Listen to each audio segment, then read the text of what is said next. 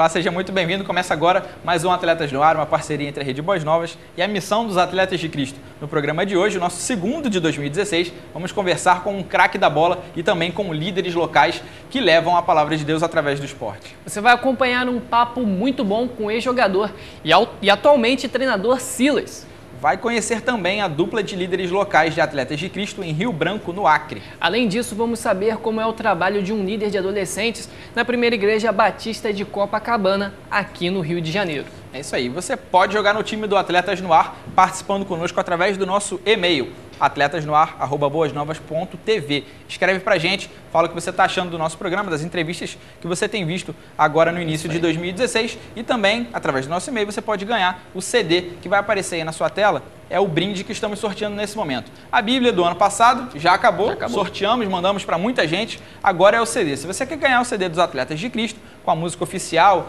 e participação inclusive da Nívia Soares nesse CD, você está aí, ó, bem na sua frente aí, bem na, no cantinho, é, entre a camisa e a Bíblia, tá aí o CD Aqui, encostadinho ó. aí, bonitinho, tá aí, ó, esse aí mesmo. Você pode ganhar através do nosso e-mail. E também tem o site dos atletas, Natan. Você pode acessar o site dos Atletas de Cristo, é atletasdecristo.org. Lá você encontra algumas informações sobre a missão Atletas de Cristo, alguns projetos, novidades e também a nova loja virtual com esses produtos que nós já mostramos aí na tela de vocês. Tem ainda no Facebook dos Atletas de Cristo e dos Atletas no Ar. Tem que curtir lá, né? Curte lá, por favor, porque é assim que a gente consegue um retorno para saber se o programa está bom, se está é ruim. Aí. Além do Facebook, você também tem o nosso WhatsApp, não é, Jorge? Com certeza. Tem o nosso WhatsApp, você pode enviar sua foto, seu vídeo é, praticando algum esporte ou assistindo algum evento esportivo com a família. Tira a foto lá, ou então assistindo Atletas no Ar, tem, fica lá de frente para a TV, tira a foto e manda para a gente que a gente vai colocar aqui. O nosso telefone é o DDD 21, número 979 864957, está aparecendo aí na sua tela e durante o programa vai ficar aí para você poder ver. Agora vamos ver uma conversa de alto nível com Silas, que jogou, por exemplo, em São Paulo, Internacional e Vasco. Teve também passagem marcante pela Argentina jogando no São Lourenço, além de ter jogado Copas de 86 e 90 pela seleção brasileira, aquela tão craque seleção de 86. É Os mais jovens devem conhecê-lo como treinador do Havaí, Grêmio e Flamengo. Então confira agora a primeira parte desse bate-papo. Durante sua carreira de jogador profissional, de 1984 a 2004, Silas jogou em clubes do Brasil, Portugal, Uruguai, Argentina, Japão e até Itália. Com a seleção de base do Brasil, ganhou o prêmio Bola de Ouro da Adidas no Mundial Sub-20 e com a equipe principal jogou 38 partidas, participando das Copas de 86 e 90. Logo após encerrar sua carreira como jogador, fixou residência em Campinas e virou empresário, além de ter participado do projeto Atletas de Cristo, ao lado de Alex Dias Ribeiro. E é desse último projeto que Silas vai dar uma palhinha pra gente. Falar de, de Atletas de Cristo é uma das, das primeiras coisas que me vem à mente e, e, e não pode deixar de ser, né? É a palavra proclamação porque quando a gente tenta resumir o nosso ministério em, em, em uma ou em poucas palavras, ah, uma das palavras que vem é a palavra proclamação. Porque tudo que a gente faz e tudo que a gente fez até hoje era sempre voltado para proclamar é, o nome de Jesus, proclamar é, o Evangelho, proclamar essas boas novas né, que muda, que transforma é, de dentro para fora e depois, logicamente, começa a transformar também o ambiente à nossa volta. E aí, fazendo um retrospecto é, do meu tempo em Atletas de Cristo, é, muitas coisas me vêm à mente. É, é, o jogo do Pacaembu, que foi um marco na história do, do Ministério de Atletas de Cristo. Nós jogamos contra a seleção paulista e eu me lembro bem que o Aragão era o, o árbitro daquele jogo. Esses dias me encontrei com ele, ele lembrou daquele jogo e ele até brincou que foi o único jogo que a mãe dele não foi citada pela torcida. e jogou Birubiru, né, do outro lado. Né? No nosso time tinha o Zé Sérgio, no nosso time tinha uh, uh, o João Leite, tinha aquela turma toda, o Jorginho, jogadores, o, o, o He-Man, né?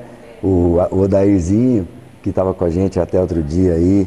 Uh, na gravação do CD e, e, tantos outros, né? Vivinho, que esses que a gente não, não encontra tanto, mas que fizeram parte desse, desse jogo, Dario Pereira, é, foi muito legal. Até porque era muito difícil se conseguir. Então o jogo do Pacaembu, é, assim a nível de proclamação, foi um marco na nossa história. É, o Força para Viver, a gente não pode, assim, não tem como esquecer o Força para Viver, porque o Força para Viver foram pedidos, uh, eu acredito que em torno de 4 milhões de livros, e você imagina uh, se 10% dessa gente aceitou a Jesus é, através do livro, eu acredito que muito mais, porque cada pessoa que pediu o livro, se, se três pessoas leram é, o livro, nós já vamos para 12 milhões, né? É, é, então isso assim foi um, um, um, um, marco na história de Atletas de Cristo, porque no Brasil, no Brasil todo se viam os outdoors com o Jorge, né, o Dida e eu. Depois no livro Alex Dias Ribeiro, Márcia Jardim, Dr. Cooper, próprio João Leite. Foi muito, foi muito legal ter feito parte dessa, dessa, desse, desse programa do Força para Viver. E depois, logicamente, todas as nossas participações na coalizão, uh, através do, do, do, do, Ministério de Proclamação, né, especificamente, onde nós pudemos, é, é, através da, do dia a dia, ou seja, os campeonatos que a gente ia disputando aqui na Itália, é, a gente poder, nos momentos de, de, de destaque, a gente poder usar um microfone para alcançar muita gente, né? Através dessa proclamação. Me lembro quando a gente estava na Copa do Mundo do México, eu era um garoto ainda, 20 anos, era um dos mais jovens ali na, na, naquela Copa do Mundo, junto com o Miller e o Chifo, que era um jogador belga. Uh, e aí eu me lembro que eles queriam, o João Avelange, que era o presidente da FIFA naquela, naquela situação, naquela ocasião, ele foi entrevistado e perguntaram sobre a seleção brasileira e ele, assim, de uma forma até sem querer se intrometer, né, ele disse que gostaria de me ver jogando como titular. E devido a essa declaração do João Avelange, eles foram fazer uma entrevista comigo. E eu me lembro que é, em um minuto nós falamos a respeito do, desse desejo do João Avelange de me ver como titular. E os outros três minutos da entrevista nós falamos só a respeito do meu relacionamento com Deus. E o Brasil todo viu aquela entrevista, né? Então, assim, foi muito legal. E aí bate naquele versículo, né, que diz que a boca fala do que do que está cheio o coração. E é isso. Quando a gente começa a falar, logo é, é, o nosso relacionamento com Deus ele vem a, a, a, na, na, na conversa e a gente acaba de uma forma assim simples, sem querer ser aquele Tonhão crentão, né? Querer abrir a cabeça do cara e enfiar o evangelho lá dentro. Mas a gente tenta falar com a vida e depois a gente usa as palavras também. Porque essa é forma da gente alcançar uh, as pessoas. E tem muitas outras coisas, né? A respeito da proclamação é, é, e da identificação que a gente tem com a proclamação. Tudo que saía nos noticiários a, a respeito da gente sempre estava relacionado com isso. E, e, eu fico muito feliz de poder assim ter aprendido até outros idiomas para poder dar testemunho e proclamar de uma forma assim até mais eficaz, né? A respeito daquilo que Deus fez na minha vida. E trazendo para os dias de hoje, né? Agora como, como técnico, uh, eu tive a oportunidade de, de estar com o Kaká lá em Madrid. Eu fiquei uns dias lá fazendo um, uma espécie de um estágio, né? E eu pude conversar com ele, o Kaká, que, que hoje talvez aí seja o, o jogador cristão que tem a maior representatividade, né? E que não tem vergonha de, de aparecer com, com as camisas e até mesmo de falar da sua fé. É, é, até está meio assim complicado porque alguns clubes e algumas federações é, é, têm, têm certas preocupações com relação a isso, mas o Kaká, até de uma forma inteligente, é, tem feito, não tem deixado de proclamar. E no meu caso, como técnico, é a, é a mesma situação. É você, é, o tempo todo, não deixar de ser quem você é, porque eu, eu sou esse aqui, eu sou conhecido como um, um ex-atleta cristão, como um técnico cristão, enfrento muitos desafios e, e problemas por causa disso, é, mas na carreira é tentar separar uma coisa da outra. Né? É você saber que você tem um grupo, que você comanda um grupo, mas que por você ser cristão, não é que por você ser cristão que você vai dar preferência para atletas cristãos ou é, é privilegiar de forma é, é, é, é, equivocada né, o atleta que é cristão em detrimento do outro. Não, ali é um trabalho, ali tem muitas coisas, porque tem muitos atletas que não são cristãos, mas são atletas que têm moral, são atletas que vivem uma vida correta e que estão buscando o melhor para suas carreiras. Às vezes ainda não tiveram um relacionamento com Deus porque ainda não foram apresentados de uma forma é, é, é de uma forma correta, de uma forma simples, né? sem, sem é, é, é, colocar religião na frente. Então é um momento assim como técnico mais de sabedoria, mas ao mesmo tempo escolhendo os momentos para poder falar daquilo que, que Deus continua fazendo nesse segundo tempo da minha, da minha carreira, agora como treinador, não mudou nada. Eu continuo amando a Deus, servindo a Deus, seguindo a Deus e procurando fazer de tudo para né, caminhar com Ele e que as pessoas possam ver isso. Antes, como atleta, eu tinha essa preocupação de estar tá proclamando, mas de viver também aquilo que eu proclamava. E agora, como técnico, a mesma coisa. Né? Proclamar, continuar, né? sem mudar nada, mas também viver aquilo que a gente fala. Tá aí, rapaz. Primeira parte da nossa conversa é, com o Silas. E, enfim, muito bacana hein? Saber um pouco do que pensa alguém que hoje em dia é treinador, já foi jogador, já foi da seleção. Enfim, aí a gente é, tem, tem muita coisa importante que ele pode falar para a gente, por isso a gente bateu esse papo com ele, falando de coisas da atualidade, seleção brasileira, CBF, entre outras coisas. Agora a gente vai para o nosso primeiro intervalo e na volta tem mais bate-papo com o Silas, a segunda parte dessa entrevista. Não troque de canal, já estamos voltando rapidinho, hein?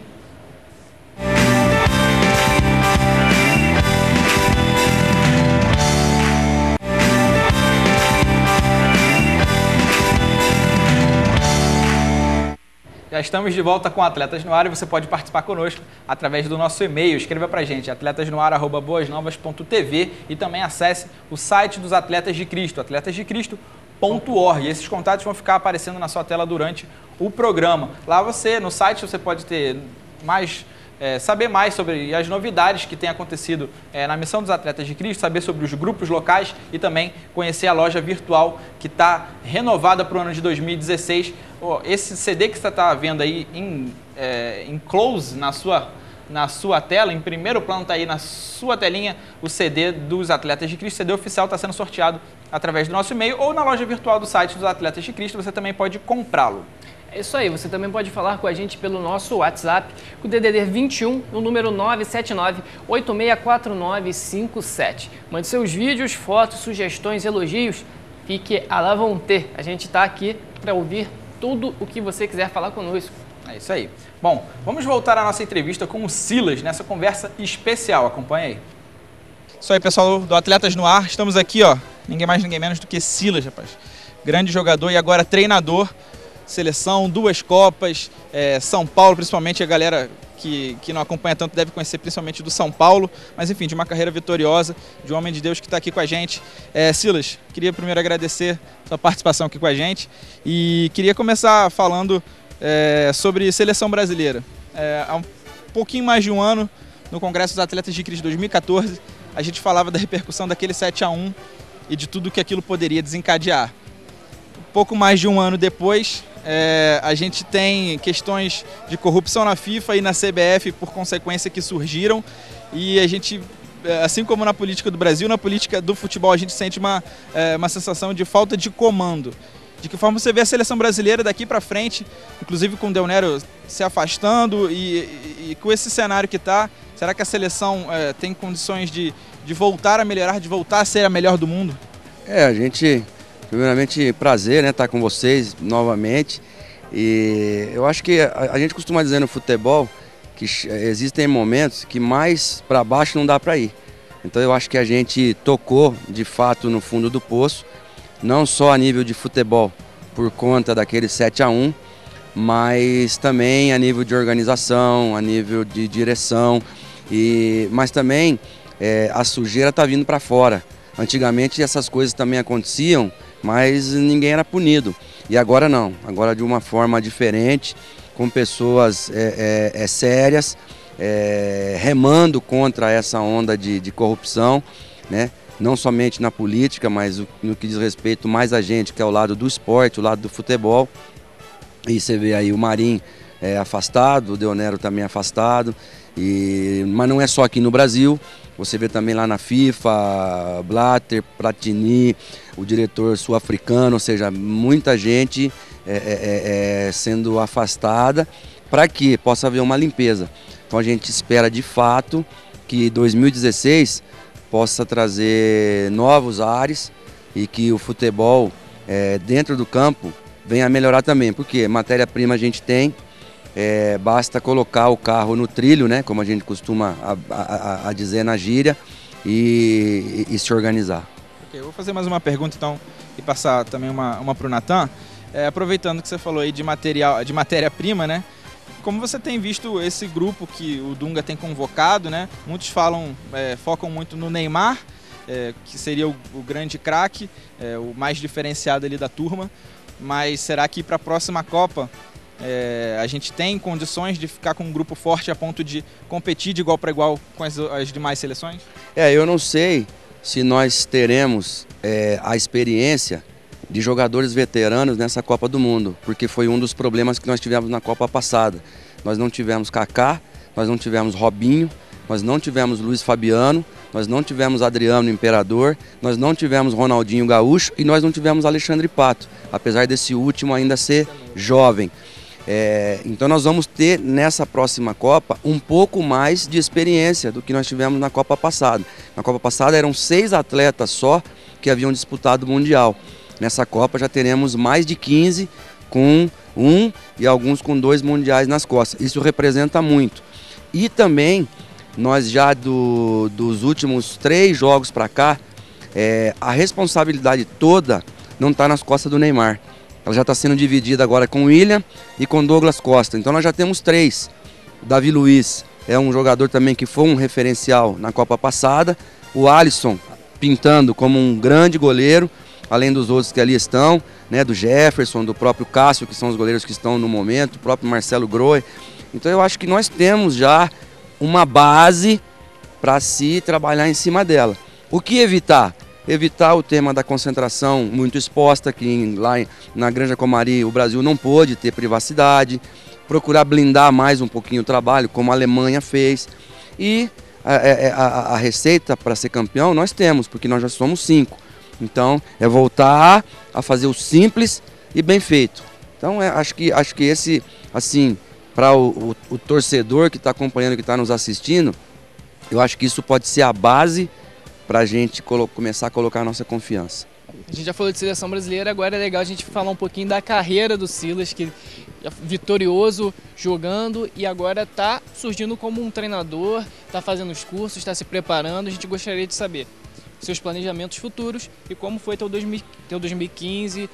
Eu sei que você assumiu o Ceará, lá o, o, time passou um pouco de dificuldade, mas conseguiu. Você montou um trabalho legal lá no, no, Ceará, revelou bons jogadores. Conta pra gente. É, isso na verdade, esse ano é um ano pra gente agradecer, porque nós somos na primeira metade do ano campeões da Copa do Nordeste invictos, né? Jogamos contra é, Vitória e Bahia é, é, dois grandes clubes, o Vitória recém subiu para a Série A, né? E também tive na Argentina por 15 dias é, é, fazendo curso lá, porque nós tivemos São Paulo Peckerman, tivemos é, o Tata Martino e tivemos o Sabela, é, treinadores participando da, da, da, das finais da Copa América. Então, quatro treinadores argentinos, né? além do Gustavo Quinteiros, que é meio argentino, meio boliviano, é, é, é, também pela seleção do Equador. Quer dizer, o Equador hoje fazendo uma grande campanha na Copa América, então pude aprender bastante lá. E agora concluo o curso da CBF, junto com o Jorginho, né? O Tafarel vai estar com a gente também esse ano. O David, que está lá no Cruzeiro também, o Ailton Ferraz, foi jogador do Flamengo, do Grêmio, também vai estar com a gente lá. Né? O Andrei, que é o auxiliar do Dunga na seleção, também deve estar fazendo curso com a gente. Então eu acho que é, é, essa nova geração, além de ter é, ex-jogadores com passagens boas por seleção brasileira e grandes clubes, também está se preparando de uma maneira diferente para poder concorrer no mercado não só interno, mas também para poder concorrer no mercado interno, que talvez seja a grande lacuna que ainda não foi preenchida. Treinadores no mercado europeu com, com grandes possibilidades. Bom, a gente já está sabendo que você está aprendendo lá com os atuais melhores treinadores do mundo que jogam um futebol ofensivo como o São Paulo joga no Chile. O Chile joga um futebol muito rápido, marcação, pressão. É isso que você quer para os seus times futuros e o que você planeja agora para 2016 que já está chegando? É, eu acho que a ideia ela passa por aí. A, a, a, essa é, federação dos treinadores está tomando as suas providências para que a gente seja um pouco mais protegido não tem esse negócio de perder os três jogos é mandado embora. Para quê? Para que você possa fazer um trabalho unificado, que é o que se faz lá fora. O Barcelona, desde os seus categorias de 12 anos até o profissional, joga naquele sistema. 4-2-3-1, 4-3-3, o goleiro joga, os zagueiros jogam. Se você faz isso aqui no Brasil desde a base e perde um, perde dois jogos, é mandado embora. O técnico da base, o técnico do 12, do 15, do 17, do sub-20 e, consequentemente, do profissional. Então a ideia é essa, ter esse tipo de segurança para você elaborar um trabalho a, longo, a, a, médio e longo prazo, porque é, é, estatística e é comprovado que os trabalhos a médio e longo prazo são os trabalhos que surtiram efeito e que deram resultado. Então a ideia do treinador é essa. Para finalizar, ainda bem que você falou disso, que um trabalho a longo prazo dá resultado. O único time campeão brasileiro que manteve o treinador foi o Corinthians com o Tite. Até o Galo, que foi o segundo colocado, fez uma belíssima campanha e acabou demitindo o Leverkusen no final do campeonato. É, essa fórmula, é, com o passar do tempo, a gente está vendo que, que as direções estão se profissionalizando, tão, alguns cartolas estão sendo assim, mais é, repletos de conhecimento, de sabedoria. Você acha que esse é o caminho então? Sem dúvida nenhuma. Trabalhei com o Evandro Leitão, presidente lá no, no Ceará. Agora é o Robson, trabalhei com o Diego Sérgio, diretor. Lá no Bahia, Marcelo Santana, um jovem presidente, segurou o Sérgio Soares lá o ano todo. Dado no Paysandu, o time não subiu, renovaram o contrato com o Dado. Jorginho no Vasco da Gama, o time caiu. O, o Eurico Miranda já renovou o contrato do Jorginho. Então, é, não só os treinadores estão é, é, é, é adquirindo essa nova mentalidade, diretoria também. Isso vai ser bom para o futebol, porque se não nós somos pentacampeões, em duas Copas do Mundo nós deixaremos de ser o país com mais Copas do Mundo. E a gente não pode, por, por negligência, ou por é, é, omissão, ou por não é, querer é, ter orgulho e não imitar as coisas boas que os europeus estão fazendo. A gente precisa imitar as coisas boas sim, trazer para cá, assim como a própria seleção da Alemanha. E o próprio Barcelona hoje joga imitando nossos exemplos de 4-3-3, com dois pontas, com um centroavante, com um volante só e jogando. Então, eu acho que é, é, é, a gente está voltando no tempo, precisamos fazer, como falei, simples, mas bem feito. Legal, bom, a gente agradece mais uma vez a participação do Silas aqui com a gente e de fato, para quem gosta de futebol, essa é a nossa torcida que é, as diretorias dos clubes, enfim, todo mundo que, que trabalha na gestão de futebol continue se profissionalizando ainda mais para que o futebol do Brasil é, volte a crescer e volte a conquistar títulos para o Brasil. É, Silas, muito mais, mais uma vez, muito obrigado. É, agradeço pela sua, pelo seu tempo aqui com a gente e queria deixar uma palavra final sua para você ficar à vontade do que você é, tem planejado, do que você tem pedido a Deus aí para o decorrer da sua carreira e principalmente para esse ano de 2016. Enfim, já fica o nosso desejo que Deus continue abençoando a sua carreira de treinador também. Amém. Um grande beijo para vocês da TV Boas Novas, né? Para todos aqueles que estão nos, nos assistindo. Uh, a minha mensagem é um é Josué 1, 8 e 9, né? Não deixes de falar deste livro da lei. Antes medita nele de dia e de noite, para que tenhas o cuidado de fazer segundo a tudo quanto nele está escrito então farás prosperar o teu caminho e, ter, e serás bem sucedido. E o versículo 9, Deus dizendo para você e para mim, é, é, não tenhas medo e nem te espantes, porque eu, o Senhor teu Deus, estarei contigo para onde quer que você vá. Deus ordenando para você e para mim, não te mandei eu, Deus falando, ser forte e ser valente, porque eu, o Senhor teu Deus, vou estar com você para onde quer que você vá. Quer melhor recado do que esse? Fica com Deus, Deus abençoe. Bom 2016 para todos nós. Isso aí, galera. Continua ligado no Atletas na Hora aí. Valeu. Abraço. Tá aí, terminamos esse bate-papo com o Silas, né, Nathan? Que foi muito, muito legal, muito importante saber de várias coisas que ele pensa, principalmente sobre seleção brasileira, né? as duas partes da, da conversa. É, você teve ele falando sobre a seleção brasileira, CBF, Verdade. as mudanças que a gente aguarda que aconteçam, principalmente na CBF. E do ano de 2016 para a seleção brasileira, é, de repente a gente esperando né, e, e torcendo para que a seleção consiga subir de nível, consiga voltar a melhorar, subindo de nível para que ela consiga se manter dentro do patamar das outras Verdade. seleções. Né? Tem Copa América Verdade. edição especial esse ano, é enfim, tem, tem eliminatórias para a Copa de 2018, tem muita coisa para ser feita pela seleção brasileira esse ano. É, o que ele falou, que eu concordo totalmente que material humano a gente tem. Everton Ribeiro, nosso querido, que foi quis jogar na China, abriu mão da seleção brasileira. A gente tem Paulo Henrique Ganso, a gente tem Lucas Lima, a gente tem o Gabigol que está surgindo, fazendo muitos gols no Santos. Então tem uma molecada boa, jovem, que pode ser bem trabalhado na seleção brasileira, sem contar o William, que ele já citou, vai Sim. citar, ou citou na entrevista. E a gente espera que o William continue com esse bom futebol, com esse bom rendimento na, na carreira dele. Na seleção brasileira, ele está botando a camisa e está chamando a responsabilidade. Além do William, a gente tem o Neymar, que está jogando muita bola. Crack, é o craque. É o craque da seleção. Então, assim, material humano a gente tem. O futebol que não está lá essas coisas com o Dunga, porque ele tem um padrão retranqueiro, é, a lá Filipão, que a gente não entende. Tomara que a seleção brasileira passe a jogar um pouquinho mais solta. E eu concordo com o Silas, ele está criando experiência, está pegando vivência no futebol, com os empresários, está aprendendo como lidar com o jogador. A gente, a gente acaba desejando sucesso para ele, concordando com a grande maioria das coisas que ele fala. Com certeza. E sem falar também que além da seleção principal, tem a seleção que vai disputar as Olimpíadas. Seleção Olímpica, e a nossa grande expectativa da seleção olímpica é conseguir o nosso primeiro ouro. Isso aí, o Felipe Anderson voando. Mas agora a gente vai fazer uma rápida pausa. E na volta tem os líderes dos grupos locais do Acre. Não, sai daí, é bem rapidinho, a gente já volta.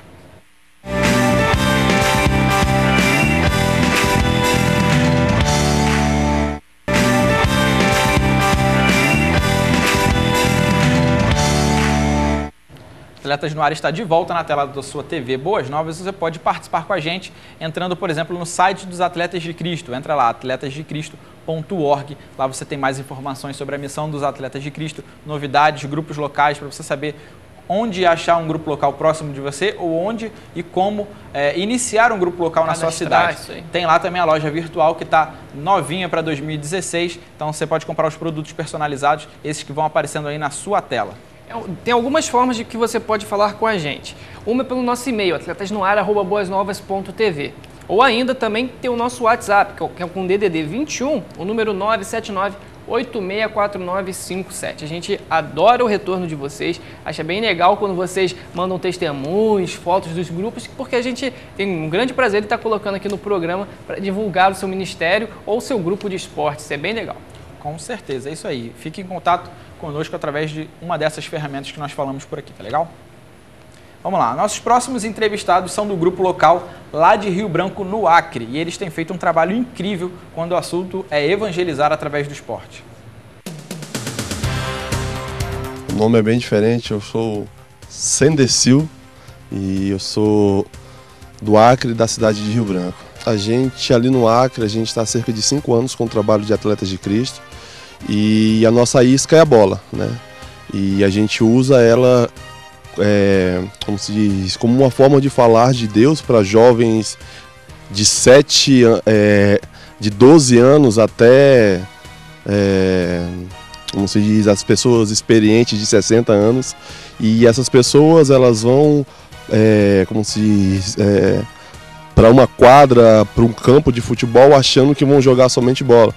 Então eles chegam lá e eles se deparam com a palavra de Deus. Então a gente usa, é, faz a bola como a isca para que eles possam vir a conhecer a Cristo.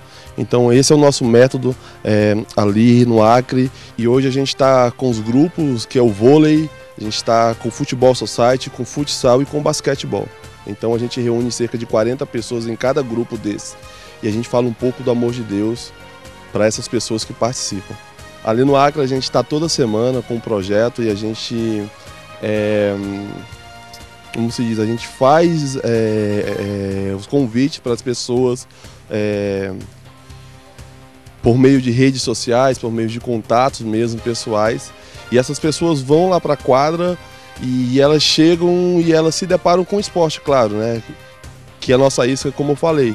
Mas elas se deparam com a palavra de Deus e acaba que ela ouve a palavra de Deus, ela participa do projeto e ela vê que, é, como se dizer, é algo sério. E ela, é, mas ela volta novamente e vai uma, duas, três, quatro vezes e ouvindo a palavra de Deus até que chega o ponto que a palavra de Deus entra, né, ali já no coração daquela pessoa e a pessoa toma a sua decisão por Cristo e a gente pega e já passa para a igreja parceira que vai estar tá junto com aquela pessoa cuidando e a gente vai estar tá no apoio dessa pessoa que aceita Cristo.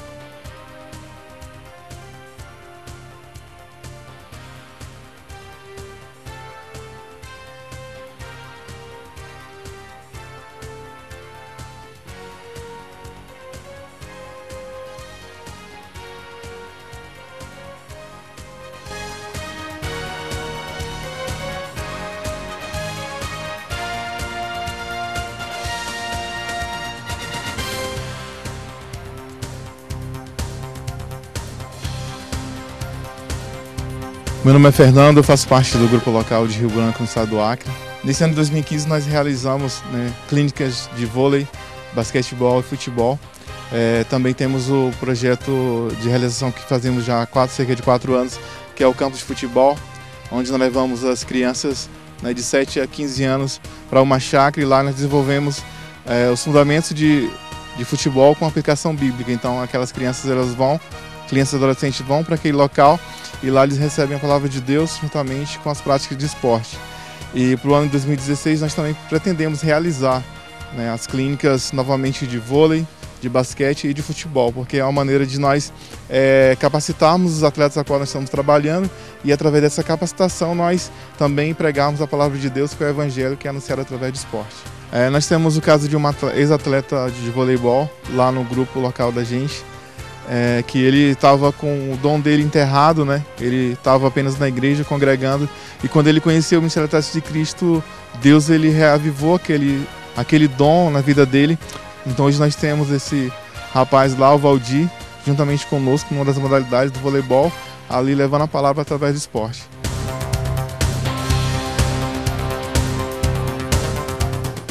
Tá aí, rapaz, a galera lá de Rio Branco do Acre é, um grande abraço para os dois lá, o Sender, né? O Sender Sil, um grande Sender abraço. É, é, o nome dele é complicadinho, rapaz, mas é, é, os dois são muito gente boa como todos os, os, líderes de grupos locais com quem nós falamos lá no Congresso dos Atletas de Cristo no mês passado, em dezembro. É, e aí fica a nossa, nossa alegria né, de, de colocar esse pessoal que está trabalhando tanto é, para o reino de Deus né, e levando a marca dos Atletas de Cristo, que já é uma marca forte, que atrai as pessoas para que elas possam ser evangelizadas através do esporte. Eles fazem lá oficinas. Investem é, em estrutura, né? Investem em estrutura na, nas, nos eventos que eles fazem. Eles levaram, por exemplo, um jogador de vôlei é, que em breve vai aparecer aqui no Atletas no Ar, o Enoch, né? Enoch, grande ele, testemunho dele. Um pequeno gigante, né, rapaz? Grande o testemunho, é grande pra caramba. até um bom trocadilho para ele, né? É, pois é. E eles levaram o Enoch lá, pagaram a passagem, o Enoch também, é, pelo reino, foi lá, não conseguiram a passagem, não, beleza, vamos e tal. E deu uma oficina é, de vôlei para as crianças lá do local e tiveram matérias de TV, enfim, muita coisa muito bacana. Legal. Eles têm feito um trabalho realmente muito legal por lá, lá no Rio Branco, no Acre. É isso aí, é sempre bom é, ter alguém à frente desses ministérios que eles falam a, a, linguagem universal que é do esporte. Então, isso é uma forma muito boa e muito eficiente de, de estar evangelizando, seja quem for crianças, adultos, jovens, é a melhor forma que tem assim para se atrair, para entrar com tranquilidade sem aquele preconceito. O evangelho entra muito mais fácil pelo esporte. Agora a gente vai fazer um rápido intervalo e na volta tem mais um líder contando suas experiências e desafios lá em Copacabana, aqui no Rio de Janeiro. É isso aí, você não pode perder, não sai daí, a gente volta já.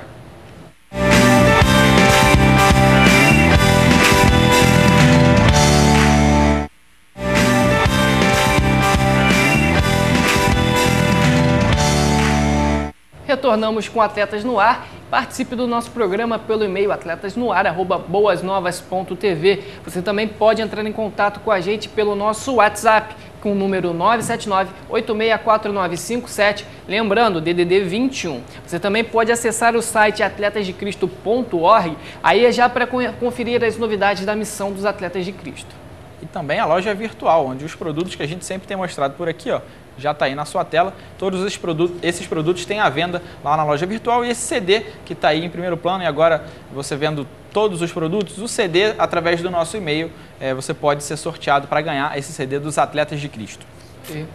Bom, fechando a nossa edição de hoje, temos o testemunho do Robson, que é líder de adolescentes lá na PIB de Copacabana. Acompanhe e veja o grande desafio que é enfrentar essa turma. Eu fui criado no Evangelho desde dois anos de idade, quando meus pais se converteram. E entrei para o esporte com 9 anos de idade, para ser jogador de futebol. E com 14 anos de idade eu me converti ao Senhor Jesus Cristo, me batizei e fiquei sabendo dos atletas de Cristo. Uma vez o Jorginho foi com, com mais um palestrante à Ilha do Governador, no Rio de Janeiro, dar uma, uma, um testemunho sobre a vida dele e ali eu passei a receber em casa o jornalzinho dos atletas de Cristo, de Cristo junto com a mensagem do Alex Dias Ribeiro, do João Leite e de tantos outros. E imitei muito o João Leite na minha trajetória de vida. 14, 15 anos, eu era juvenil da Portuguesa da Ilha e ali entregava uma Bíblia a todo atleta, todo treinador, a juiz, árbitro de futebol. E minha vida foi assim. Fui para o Júnior do, do América e ali também continuei evangelismo, junto com o pastor Zique também, na Praça da Bandeira, com as reuniões dos atletas de Cristo ali, de Cristo ali dentro. E a vida foi assim. E com 20 e poucos anos tive uma lesão, tive que encerrar a carreira precocemente e passei a trabalhar com evangelismo na área do esporte. E estou até hoje com evangelismo no esporte, junto com a galera lá em Primeira Igreja Batista em Copacabana, com alguns atletas, alguns surfistas, jogadores de, de basquete. E a gente tem feito um trabalho legal lá. A gente, como todo cristão, né, enfrenta dificuldades. Dificuldade no Evangelho, ele é, vem muito pela discriminação no Evangelho. Eu tenho 38 anos hoje e na época nem todo mundo entendia o que é ser atleta de Cristo, o que era ser cristão e jogar futebol. Aquilo que o Silas sempre falou. É, você não, não era bem quisto pelo, pelos irmãos da igreja, porque achavam que o futebol era uma coisa é, não vinda de Deus. E dificuldades ministeriais também, apoio ministerial, às vezes uma palavra amiga, às vezes um pastor que te que ouvisse você, falasse com você, conversasse com você, até mesmo, até mesmo um atleta de Cristo era, era novo no nosso, no nosso ambiente é, brasileiro. E essas dificuldades me ensinaram a caminhar, às vezes sozinho, às vezes com o irmão do mesmo clube. É, quando eu tinha 15, 16 anos, nós éramos dois atletas de Cristo dentro do, do clube, num grupo de 30 atletas. Ou seja, o desafio era enorme e os atletas, como são hoje, gostam de garotas, gostam de, de nights, de baladas e, e isso a gente confrontava. E nós éramos garotos de 15, 16 anos, adolescentes, que dizia, diziam não às festas, às baladas. Então essa é a dificuldade que tem hoje também. Você, os atletas enfrentam isso, né? Como, como lidar com as meninas, como lidar é, para não ter relação sexual antes do casamento, como, como que a Bíblia entra na nossa vida nos tempos atuais. É a mesma coisa do passado, hoje mais exacerbado, hoje você tem a tecnologia que aumenta, potencializa essa, essa guerra, né? essa luta que o atleta de Cristo enfrenta. É, quando eu machuquei, tive uma contusão séria, passei um ano, e foi difícil a gente se restabelecer no, no esporte, no futebol. É, eu era muito novo e às vezes faltava uma palavra, um discipulado, uma mentoria voltada para o esporte. Né? Eu já estava no, no América, uh, subindo para o profissional e tive uma contusão, fiquei uh, abalado emocionalmente, fiquei abalado psicologicamente. Os meus pais me apoiavam muito na época, minha mãe, através das suas orações, me mantinha de, de, de pé não deixava eu cair, mas com 20 e poucos anos eu tive que encerrar a carreira por questões de contusão e isso foi triste, né? porque você almeja uma carreira de sucesso, mas o Espírito Santo de Deus falava ao meu coração, você não precisa estar no, nos holofotes, você precisa fazer o trabalho que é ir de pregar o evangelho e fazer discípulos.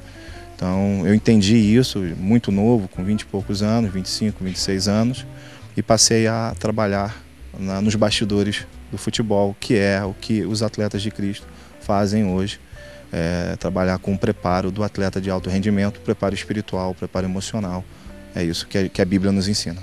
Eu tenho um amigo que fez seminário do Sul comigo, que nós somos teólogos, e ele é pastor da primeira igreja batista de Copacabana, e nós somos amigos desde essa época. E ele me convidou no final do ano passado a trabalhar na liderança de células com adolescentes entre 13, 12 até 18, 19 anos. E essa galera é composta por é, surfistas, por jogador de basquete e garoto comum, né, que vive em Copacabana e tem os seus anseios e as suas dificuldades. A gente trabalha com discipulado também, né, mentoria. E o discipulado, eu entendo o discipulado como acompanhar o jovem ou adolescente. Você tem que entrar na vida do adolescente. Você não pode ser superficial. Você não pode dizer acabou, vai para casa, somente isso. Né? Hoje com a rede social, hoje com o WhatsApp, hoje com o Facebook, você entra na vida do atleta, ou entra na vida do cristão, entra na vida do crente, entra na vida do adolescente crente. Né? Nós moramos ali, nós vivemos em Copacabana, a nossa igreja é, é, é, é colocada em Copacabana há mais de 50 anos. Copacabana é a princesinha do, é, do, do mar, você tem Copacabana sendo vista por muitos no mundo todo. Então trabalhar com essa galera é você acompanhar face a face. É você dar a mão para ele e falar: estou ao seu lado. A proposta da droga, a proposta da prostituição, a proposta da imoralidade sexual, ela existe, ela é real no nosso tempo e ela é muito mais exacerbada na época que eu tinha 14, 15, 16 anos. Né? Potencializou muito nos dias em que vivemos. Então você precisa estar com o adolescente, você precisa entrar na vida do adolescente e ele precisa querer isso também, senão não tem funcionalidade. Jovem em Copacabana, jovem da zona sul do Rio de Janeiro, é, conforme você falou, tem uma vida mais abastada. Ela, ele é regado de porque os seus pais conquistaram muitas coisas, né? Uma vida financeira estável, né? Apesar da nossa crise financeira, a crise economia do Brasil não está tão boa, mas eles têm uma vida abastada, né? É, o, então o problema ali é outro. Você tem problemas com depressão, ansiedade, você tem problemas e o pecado é da alma.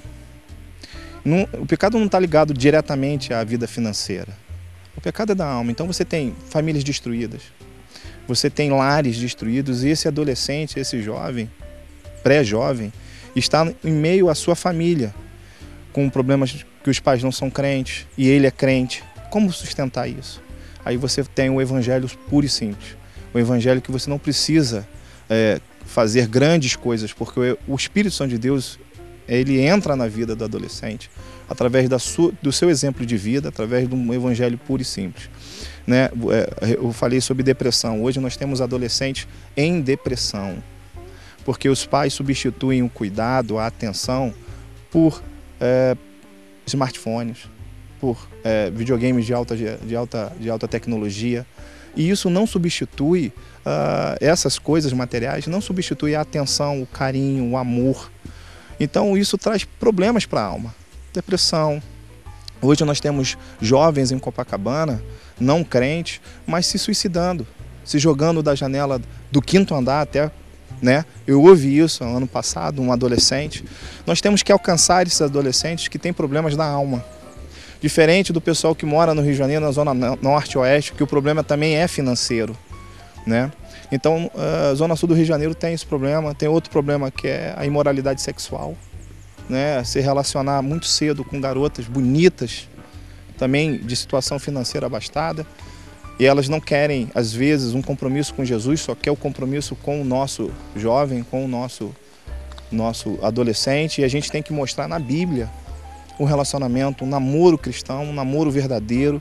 Há coisas que não mudam, há princípios que não mudam na vida.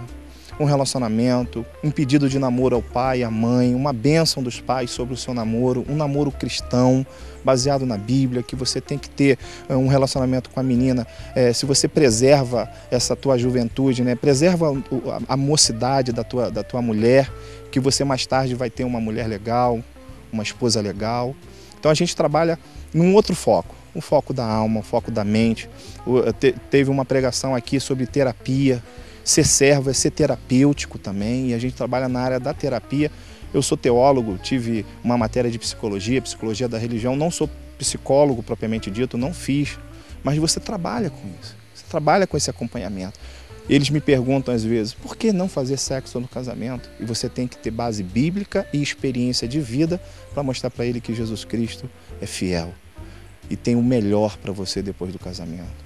Um casamento de 10, 20, 30 anos, porque você plantou antes de você casar com aquela sua garota da sua mocidade, você plantou honestidade, seriedade, plantou o evangelho. Então a gente tem trabalhado nessa, nessa pegada aí. Nós temos, é, implementamos lá na nossa célula, é, toda sexta-feira, o futebol. Então a gente vai à praia e joga o nosso beat soccer. E ali eles chamam os outros amigos do colégio, que não iriam para a célula só simplesmente para ouvir o evangelho, mas, ah, eu vou ao futebol sexta-feira porque tem uma galera diferente lá. E a mensagem é: a gente se diverte sem usar drogas, a gente se diverte sem estar na night bebendo, porque Cristo está conosco. Então o futebol faz isso, o beat soccer, o vôlei de praia que a gente coloca também, o frisbee que é uma coisa mais americanizada, também as meninas gostam, então elas também é, brincam e ali ouvem o evangelho. É, tem há três surfistas na, na nossa célula e um deles, é, eu, eu, me, eu me convidei, eu falei, vou surfar com você, me arruma uma prancha, a gente vai lá, eu não sei muito bem, mas eu vou fazer com você. E quando você começa a descer do seu, do seu, do seu patamar e ir com ele surfar e pegar uma onda, é você mostrar para ele, estamos juntos estamos nessa mesma pegada. E ele se agrada disso, e ele ama isso. O seu líder, o seu exemplo de vida, o seu mentor surfando comigo. Né? Enquanto eu puder surfar, eu vou surfar. Né? Chegar aos 50 anos, eu só vou ficar olhando. Mas eles se motivam com relação a isso. Então, o esporte, quando você também pratica com eles, eles, eles se fortalecem. Então, o esporte é uma ferramenta mundial, fundamental na vida hoje da nossa primeira igreja batista em Copacabana, que haverá os jogos ano que vem, os Jogos Olímpicos, ali passará uh, o, o, vôlei de praia, ali passará a maratona e essa galera está sendo preparada para evangelizar no esporte. Tá aí o Robson, rapaz, que é líder dos adolescentes lá em Copacabana e como nós conversamos com ele, Natan, é, aparentemente olhando de fora assim, ah, não, é tranquilo, pô. Cara, sério, é, né? Ser líder da, da galera de Copacabana é tranquilo, a galera tem um, uma situação financeira boa e tal. Não, tem problema, por que, que a galera vai ficar é, vai ser difícil lidar com, a, com, com, esse pessoal, mas enfim, todos os lugares, cada lugar, cada região, cada localidade tem, um tipo tem suas problema. peculiaridades, tem seus problemas e como ele falou ali, tem a questão de depressão, depressão. enfim, problemas familiares muito sérios, é, porque tem, enfim, hoje em dia, na, na, sociedade que a gente vive, muitos pais acham que é, colocando dinheiro na mão do filho e dando a liberdade que ele quiser, está tudo resolvido. É, é e não é bem assim que acontece, então o evangelho também precisa ser levado e precisa estar sendo pregado entre esses jovens de locais, mesmo jovens com situação financeira boa, é, eles precisam de Deus da mesma forma da, é, do que aqueles que não têm, né? É isso aí. Ele tem algumas, alguns macetes que a gente pode dizer para estar tá falando com a molecada. Ele faz reunião na praia, joga bola com a galera, pelo menos acho que uma vez a cada, mês, talvez, a cada é. mês. Ele leva a molecada, joga bola com eles, depois dá uma palavra, é, pega cada garoto do, da sua célula para discipular ele falou que tem atleta de surf, tem atleta de futebol, que ele conversa com ele justamente pelos caminhos que o, o mundo, que, que, eles podem estar oferecendo. De onde vão vir as tentações é, onde também, vão vir as tentações. dicas para os garotos. Verdade, a, a, galera de Copacabana, a grande maioria, não vou dizer todos, tem uma boa condição financeira. Então, os convites para balada, para beber, é, assim, é, é algo falta. muito fácil. É. Então, ele, essa função de liderança é muito importante. A gente volta a dizer que, assim, Deus que ele possa estar... Tá trazendo assim grandes bênçãos para a vida dele, que ele possa estar tá levando esse projeto para frente e quem sabe um dia, né, se tornar até um pastor no meio do esporte, né? Bem é isso legal. aí. E a gente fica na expectativa durante o ano de 2016 a gente possa visitar uma, uma dessas práticas esportivas é, da galera lá de Copacabana na praia. Enfim, a gente vai lá, faz a matéria e mostra aqui para vocês também.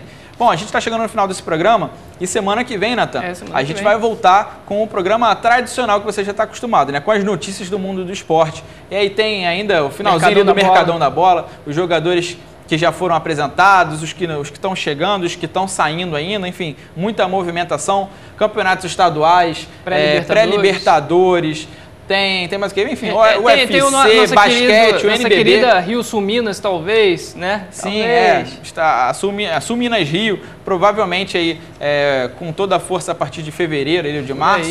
É, os estaduais, enfim, NBB, que também é, durante o mês de janeiro, a partir do dia 17 de janeiro, já já estava a todo, a todo vapor. Amanhã, a partir de amanhã, dia 17 de janeiro, já começa a todo vapor. É, com as suas rodadas, enfim, muita coisa para ser falada. Então, Natan, muito obrigado mais uma vez. Bom, eu que É, agradeço. Férias acabando da galera aí. Fica ligado, compartilha o Atletas para todos os seus amigos. Se você não pôde assistir desde o início, às 23 horas, tem nosso horário alternativo. Até semana que vem, Natan. Até semana que vem, pessoal. Estamos sempre juntos e contamos com vocês. Valeu, um abraço.